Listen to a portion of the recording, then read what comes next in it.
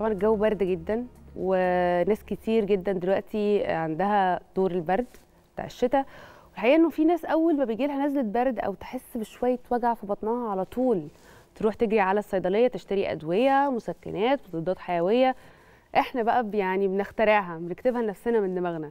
لا رحنا للدكتور ولا استشرنا طبيب ولا حتى يمكن فكرنا إن إحنا يعني نستشير طبيب حتى عشان بس نطمن على صحتنا. وطول الوقت وزارة الصحة بتحذر. وطول الوقت إحنا بنحذر انه المضادات الحيوية ما ينفعش ناخدها من تلقاء نفسنا. لازم نستشير طبيب. طول الوقت برضو إحنا بنستسهل بنروح للصيدلي. لو سمحت عايزين مضاد حيوي عشان أنا عندي برد ناخد مضادات حيوية. وهنا السؤال بقى يا ترى إيه الأضرار الصحية اللي ممكن تحصل لنا في الحالة دي؟ إيه الكوارث وصحيح هي بتصل لحد الكوارث اللي ممكن تحصل في المستقبل. إيه المضاعفات اللي ممكن تحصل للجسم؟ أسئلة كتير جدا هنجاوب عليها بالتفصيل مع ضيفنا منورنا في الاستوديو دكتور إسلام عنان أستاذ اقتصاديات الصحة وعلم انتشار الأوبئة. صباح الخير يا دكتور. صباح الخير دكتورة جوانا وكل مشاهدينك الكرام. دايما منورنا في صباح الخير يا مصر. ميرسي ده نورك. ويعني إحنا عندنا ثقافة مش لطيفة. ان إحنا ننزل الصيدلية لو سمحت أنا عايز مضاد حيوي. عشان أنا وإحنا من- يعني بنخترع ممكن أصلا يكون اللي أنا حاسس بيه أو الأعراض اللي عندي لا تتطلب مضاد حيوي أصلا. ده ومع. ذلك بناخد مضادات حيويه الثقافة دي ممكن تؤدي إيه الأضرار اللي تؤدي ليها في المستقبل؟ تمام يعني آه، السؤال كويس نبدأ بيه كده إن آه، المضاد الحيوي ده بيعالج مبدئيا كده بكتيريا. إحنا في الشتاء وأنا عارف إن اليومين دول معظم الناس حاسين بأعراض معظم الأعراض دي فيروسات حتى إحنا بنسميها فيروسات الشتاء. صحيح. فسواء كانت إنفلونزا آه، مخلوي ال RSV أو كوفيد الثلاثه دول viruses. المضاد الحيوي ما بيعالجش فيروس. خلينا نحطها يعني إيه قاعدة في الأول كده عشان أول جملة مهمة جدا. المضاد الحيوي مش بيعالج فيروس. فيروس. ملوش. علاقة على الإطلاق. فبالتالي فكرة إن حد حاسس إن هو إيه زوره محتقن شوية عنده شوية ارتفاع درجة الحراره لا أصل أنا صوتي رايح شوية تعبان لا أنا هنزل أجيب مضاد حيوي. وغالبا بينزل يجيب يا حقنة يا كبسولة واحدة وده في قمة الخطورة. خلينا نتكلم إيه اللي بيحصل. مبدئيا غير إن هو خد دواء ملوش أي علاقة بالفيروس اللي عنده. المضاد الحيوي هو already حاجة بتتاخد. لو في بكتيريا في الجسم ولازم ال course نفسه يخلص للمضاد الحيوي لو في بكتيريا عشان ما يحصلش مقاومة للمضادات الحيويه إحنا قبل كوفيد في 2019 كان تقريبا في مليون حالة بتموت. بسبب مقاومة المضادات الحيوية. يعني إيه. يعني شخص بياخد مضاد حيوي والمضاد الحيوي ما بيشتغلش بسبب إن جسمه البكتيريا اللي عنده بيسموها super bug يعني bug قوية ما. بيأثرش فيها ولا مضاد حيوي. من أصغر مضاد حيوي جسمه لآخر بيقاوم المضاد بيقاوم. الحيوي البكتيريا نفسها مقاومة للمضاد الحيوي. فبالتالي بيموت. معدل الوفيات كان مليون. متوقع إن بعد كوفيد وكمية سوء استخدام المضادات الحيويه اللي حصل في السنتين بتاعت كوفيد إن الرقم ده غالبا ممكن يخش في مليون ونص. آه، طبعا معظم الدول ابتدت تحط restrictions وابتدت تحط تحذيرات كبيرة على فكرة إن حد يصرف مضاد حيوي. مش بس آه، روشتة. هم ابتدوا كمان يقولوا روشتة مختومة. يعني بحيث إن الدكتور نفسه محتاج يختمها من المستشفى عشان يبتدوا يعملوا tracing للحالات اللي خدت مضادات حيويه مهم. كل مرة الشخص بياخد مضاد حيوي هو بيقلل فرصة إن المرة الجاية لما ياخد مضاد حيوي يشتغل. للأسف مش ليه هو بس للناس كلها. لأن هي البكتيريا نفسها اللي هتتغير وتبقى super bug ممكن تروح لشخص تاني. ما كانش بيعمل abuse للمضادات الحيوية وبرضه ما يأثرش معاه مضادات حيوية. فبالتالي إحنا آه، مهم جدا إن الشخص لو خد مضاد حيوي يتأكد إن هو محتاجه ولازم عنده عدوى بكتيرية مصاحبة للعدوى الفيروسية ودي ليها شروط. الشخص بعد فترة من العدوى الفيروسية ممكن يبتدي ينزل آه، يحصل بكتيريا في الصدر فمحتاج إنه ياخد مضاد حيوي. ده مين اللي هيعرف كده؟ مش الشخص. أكيد الدكتور. أكيد الدكتور. أكيد الدكتور. هو محتاج إن هو يروح يكشف الأول ويتكتب له مضاد حيوي. ولو اتكتب له مضاد حيوي ما ياخدش يومين ثلاثة يقول أنا اتحسنت فهخلص خلاص مش هكمل الكورس. يبقى تاني شرط لو حد ابتدى مضاد حيوي لازم يخلص ال course لغاية الآخر. لو ما خلصتش ال course برضو يا دكتور نفس المشكلة اللي تحصل فكره نفس السوبر المشكلة bug برضو؟ هيبقى في super؟ bug نفس مم. مشكلة ال super bug فبالتالي يبقى اول حاجة أنا ما باخدش مضاد حيوي لو أنا عندي فيروس. تاني حاجة أنا باخد ال course لمضاد حيوي بالكامل لغاية الآخر. فكرة بقى ال collection اللي الناس بتاخده من الصيدليات اللي هي كيس جواه فيه. آه آه، ليها اسم برضو يعني هم مسميينها آه ليها أسماء كتير يعني. مجموعة البرد. بالظبط. يعني حد بينزل ياخد مجموعة برد. فسواء كانت هي oral يعني كبسولات واقراص أو حقنة فتلاقي فيها كورتيزون ما شاء الله وفيها آه دي حقنة هتلر. آه بالظبط اسمها يعني كده آه. تقريبا. كورتيزون ومضاد حيوي. ومسكن في نفس الوقت الثلاثه يدخلوا ببعض وياخدها هي مرة واحدة. أقول لك دي بقى إيه بتودي البرد. دي كارثة. يعني غير طبعا كل مشاكل الكورتيزون اللي من غير داعي اللي إحنا. كلنا عارفينها. مشكلة إن هو بياخد مضاد حيوي قوي جدا حقن. وإحنا طبعا ال ال دايما نقول البكتيريا اللي تموت ب- ببنسلين يعني أصغر مضاد حيوي ليه أديها آخر generation في مضاد حيوي؟ دي خلاص أقوى حاجة. اديتها أقوى حاجة. أنا بعد كده هيجي لي بكتيريا صغيرة قوي وضعيفة وكان المفروض تموت ببنسلين ما تموتش بأقوى مضاد حيوي. فبالتالي باخد course واحدة وما يكملش بياخد أقوى مضاد حيوي إحنا عندنا abuse للأسف في المضادات الحيوية بتتصرف الشخص ممكن يروح يشتريها من أي صيدلية ويصرفها. تهيألي إحنا we need أكتر لذلك مصر من بالظبط ست شهور أطلقت الحملة القومية. لترشيد استخدام المضادات الحيوية. متهيألي كان دكتورة غادة علي يونس كانت موجودة في البرنامج هنا من. كام شهر وأعلنت إطلاقها. وهي الهدف منها هي الفكرة دي إن ما يبقاش فيه صرف للمضادات الحيوية إلا من المستشفيات والصيدليات بروشته الروشته دي مختومة فبالتالي نقلل فكرة ال resistance أو المقاومة للمضادات الحيوية. طيب ده بالنسبة للمضاد- للمضادات الحيوية. المسكنات بقى. إحنا آه ناس كتير جدا إحنا المسكنات بالنسبة لنا يعني بونبوني.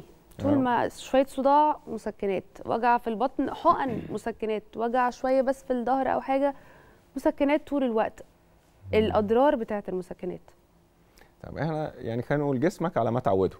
يعني أنا عودت إن أنا بيجي لي صداع باخد كل المسكنات اللي موجودة في البيت. مم. هتعود إن أنا كل مرة هيجي لي صداع هاخد كل المسكنات اللي في البيت.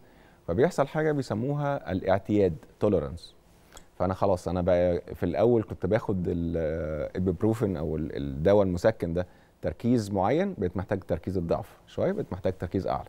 وفي أوقات بيحصل آه، يعني اعتمادية يعني خلاص بقى عنده dependence إن هو لازم ياخد مسكن بصفة دورية وابتدى يبقى في إدمان للمسكنات. كنت لسه اسالك بس دي آه، حاجة يعني حاجة psychological حاجة نفسية ولا بالفعل في يعني حاجة بيولوجيه فكرة آه، ال tolerance حلو السؤال برافو عليك. آه. yes هي الاثنين يعني هو أول حاجة بيبقى عنده اعتمادية متخيل إن هو مش هيقدر يكمل يومه إلا لما ياخد المسكن المتعود عليه.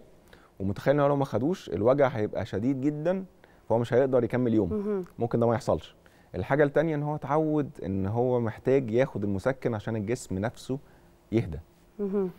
في ناس ما بتاخدش على الإطلاق مسكنات إلا عند الضرورة القصوى يعني تلاقي نسبة ال tolerance بتاعتهم أحسن. يعني نسبة الاعتيادية بتاعتهم أقل على المسكنات فبالتالي يقدر يستحمل آه، صداع يقدر يستحمل ألم. تلاقي الناس دي اللي هي مثلا ممكن هو رايح عند دكتور السنان مش محتاج ياخد 3 4 حقن بنج. هو ال threshold أو الحد بتاعه أحسن. في تحمل الألم. ده أحسن كمان عشان المناعة الطبيعية. أنا محتاج أعود الجسم. إيه أكتر مسكن كويس أقدر أعود بيه الجسم؟ المية. يعني شرب المية. كتير. آه الشخص لو. بيشرب مية كتير على مدار اليوم مثلا ده مسكن فعال. طبعا أنا مش بتكلم على شخص عنده مثلا روماتيزم ومحتاج ياخد أدوية مسكنة والدكتور كاتبها. أنا بتكلم على سوء استخدام برضو المسكنات عن طريق إن الشخص بينزل الصيدليه كل يومين ثلاثة بيشتري شرايط مختلفة من المسكنات وياخدها من غير مراجعة مع طبيب. لكن لو هو في احتياج والدكتور كاتب له ده حاجة تانية. ده مش اللي إحنا بنتكلم عليه عشان. برضو الناس تفرق. آه طبعا أكيد. فبالتالي إيه إيه تاني ممكن يبقى مفيد؟ الأكل. الأكل برضو إحنا دايما بنقول في وصفة معينة كده انتي انفلاماتري يعني مضاد للالتهابات والمسكنات. إيه هي؟ ياكل أكل صحي بعيد عن المسبك طبعا إحنا في الشتاء الموضوع ده صعب شوية. آه بينام شتا بدري. وصيف والله يا دكتور. مش علاقة. آه بس هي فعالة جدا. وياكل ألوان كتير على مدار الأسبوع يعني ألوان مختلفة من الأكل فبالتالي بينوع في أكله. بيشرب مية كتير بيبع- بيبعد عن التدخين آه، بيحاول يمشي يلعب رياضة. الوصفة دي ممكن تكون طبعا سهلة في الكلام صعبة في التنفيذ ولكن دي أحسن من إن أنا اذي الجسم بمسكنات كتير وخصوصا إن المسكنات هي السبب رقم واحد في قرحه المعدة. فقرحه المعدة طبعا هي ممكن توصل لغاية ثقب في المعدة بسبب إن الشخص بيسيء استخدام المسكنات الأنالجيسيك أبيوز. طبعا نقيض بقى. في شخص يقول لا والله أنا ما باخدش أدوية بقى خالص أنا بيجي لي برد آه بخف لوحدي. صداع أي نوع من أنواع الوجع حاسس بيه؟ لا أنا بخف لوحدي. أنا ما باخدش أدوية. ده صح ولا غلط؟ طب لو هو بيخف فعلا كويس. يعني هو لو الشخص ما بياخدش أدوية على الإطلاق وبيجي له الف... هو الفيروسات عموما ليها مدى معين. لو لو فيروس مثلا لو برد. البرد ليه مدى معين من الأيام وهيخف. إحنا بناخد آه، الأدوية اللي موجودة مثلا في نزلات البرد اللي هو بس نزلات البرد مش الإنفلونزا ال common cold. بناخد أدوية لتسكين الأعراض مش لعلاج الفيروس. فبالتالي هو لو مستحمل الأعراض وغالبا الناس دي بتبقى من الناس اللي بيسموها well hydrated يعني بيشرب مية أو سوائل كتير جدا. هو مش محتاج أدوية خلاص مفيش مشكلة. لو هو مش قادر يستحمل وبيضغط على نفسه عشان خايف لا يكون الدواء هيعمل له ضرر لا ده حاجة تانية. لا محتاج تاخد دواء مش هيعمل لك ضرر طالما بتاخده باعتدال. دايما كل حاجة باعتدال ما فيهاش. ما فيش فيها مشكلة. يعني المشكلة كلها يا إما ابيوز بيستخدم كتير قوي أو إنه لا يستخدم على الإطلاق وهو محتاج دواء. زي بالظبط كده إن الشخص يقول أنا مش هتعالج من السكر أو الضغط بأدوية عشان خايف اخد أدوية. هي. نفس الفكرة. لا طبعا مش هينفع. أو الناس اللي بتقول طب أنا هاخد أعشاب بس. أصل الدواء مضر فأنا هروح آخد طب بديل هروح آخد أعشاب. دي برضو نفس المشكلة. يعني ال- الأعشاب يعني بس يعني ملحوظة صغيرة الناس الدواء معظمه جاي من الأعشاب. يعني طالب كلية صيدلة ده نص دراسته أعشاب. أعشاب. إحنا بنعمل مستخلص من العشب عشان نعمل بيه دواء. بس الفكرة كلها في التركيزات. أنا بروح غالبا لعطار بروح لمكان بشتري الأدوية ولا في عليها تركيز ولا في عليها صلاحية ولا هاخدها بمقدار قد إيه. في منها أدوية في منها أعشاب كتير جدا مضرة لو استخدمت منها كميات كبيرة. صحيح. في في ناس متخيلة إن هي عشان أعشاب طبيعية فهي مش هت... مش ه... مش هتضر بأي شكل من الأشكال. إيه اللي هيحصل؟ دي أعشاب. آه. دايما يقولوا لو ما نفعتش مش هتضر. بالظبط. هي actually أوقات ما تنفعش وتضر. وده ده شفناه كتير. plus إن تقريبا في دراسة كانت اتعملت في أمريكا إن كان 50% من الأعشاب اللي بتتباع لوحدها دي عبارة عن ادويه مطحونة. يعني هو بيجيب الدواء المسكن يطحنه في العشب بعد كده يقول لك ده عشب مسكن فهو ياخده فيلاقي ال- القلم اتسكن. آه فينبسط يقول لك ده العشب. ده كويس. فبالتالي الغش في الأعشاب برضو موجود بكثرة. طب هل ده معنى الأعشاب غلط على الإطلاق؟ لا برضو نفس الكلام. عايز أعشاب الأعشاب زيها زي الدواء. محتاج إن اللي يكتب عشب ممكن يبقى دواء يعني جواه فيه أعشاب ممكن يبقى probiotics ودي موجودة في الصيدليات ممكن يبقى الأعشاب اللي موجودة في الصيدلية أو أنا رايح لمكان بيبيع أعشاب ولكن هو مكان مرخص يعني الأدوية اللي جواه. مرخصة من الدولة فبالتالي موجود فيها أنا باخد إيه بالظبط وده مهم قوي ما ينفعش يا جماعة أي حد ياخد آه، packet هو ما يعرفش اللي جواه أو بياخد مسحوق معين ما يعرفش إيه اللي جواه. مكتوب عليه كل ال content عليه expiry date عليه تاريخ صلاحية طريقة الاستخدام ولو هو مريض ضغط أو سكر أو أي مرض مزمن لو سمحتوا محدش ياخد أعشاب إلا لما يراجعها مع الدكتور لأن في أعشاب كتير بتعلي السكر بتعلي الضغط صحيح. هو ممكن ما يبقاش عارف أو تتعارض مع الدواء اللي هو بياخده. طب أخيرا الأدوية ال- ال- المستوردة الدواء ده مستورد فإحنا ممكن مم. في أدوية بتبقى معروفة يعني بالنسبة لنا هي معروفة ويل نون مستوردة عارفينها في أدوية ما نعرفش عنها حاجة بس والله يا فندم الدواء ده مستورد. إمتى اعرف ان الدواء ده المستورد ده آه، يكون دواء سليم أو ابتدي اقلق منه أو مغشوش؟ إيه اللي المفروض اعرفه؟ تمام خلينا نقول في دواء مستورد مرخص مم. عليه ترخيص وزارة الصحة ده مفيش منه مشكلة ده بيتباع رسمي في الصيدليات في أدوية مستوردة غير مرخصة. مم. دايما أنا السؤال اللي بسأل نفسي هو الدواء ده دخل إزاي؟ دي أكبر مشكلة عندي. الدواء ده غالبا دخل متهرب. مم. اتهرب إزاي بقى؟ الأدوية دايما ليها درجة حرارة. لو عليت عن درجه حرارة الحفظ للدواء الدواء نفسه فقد آه، جزء يا إما من صلاحيته يا إما فقد المادة الفعاله يا إما ممكن في بعض الأحوال بقى مضر. فهو غالبا بيتخزن في في عربية داخلة على الحدود بيتخزن في عربية آه، مثلا في شنطة واتحطت في الشمس ساعات كتيرة طريقة التخزين. بتكون مش سليمة فغالبا الشمس ودرجه الحرارة بوظت الدواء فلو أنا بشتري دواء مستورد غالبا ممكن يبقى خمس ست أضعاف سعر الدواء اللي في مصر ممكن كمان اكون باخد دواء اتخزن غلط وبايظ. الحاجة الثانية هل أنا متأكد إن الدواء ده أصلي ولا لأ. ودي صعبة جدا المواطن يعرفها. يعني غالبا الصيادلة وصيادلة متخصصين هم بيبقوا عارفينها. ولكن العلبة دي فيها حتة في الحبر غلط غالبا العلبة دي متقلدة. فأنا برضو حاطط نفسي في risk إن أنا ممكن أشتري دواء بآلافات اوقات الأدوية دي بتبقى غالية وفي نفس الوقت الدواء ده يبقى متقلد. وسوق المتقلد والأدوية البايظة مؤخرا على مستوى العالم زاد بطريقة غير طبيعية. إحنا. بنتكلم في مليارات الدولارات business كبير جدا أدوية مغشوشة. فأنا برضو مش عايز أحط نفسي في ال risk ده. الدواء المصري أنا عارف هو طالع دواء الدواء إحنا أحسن دواء موجود في أفريقيا الشرق الأوسط كمصانع. إحنا بنصدر لأفريقيا.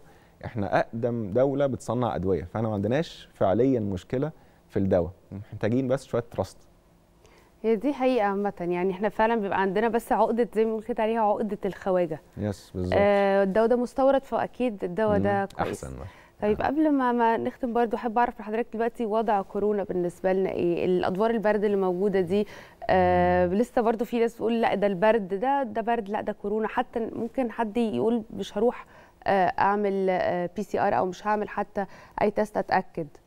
طب هو طبعا على مستوى العالم إحنا في نص موجة بس عدينا الذروة. يعني مم. إحنا آه، تقرير شهر يناير طلع وتقرير شهر يناير كان فيه 20 مليون إصابة جديدة فرقم عالي. طبعا. ولكن الحمد لله وفياتها قليلة تقريبا 14000 وفاة في شهر كامل فده رقم قليل.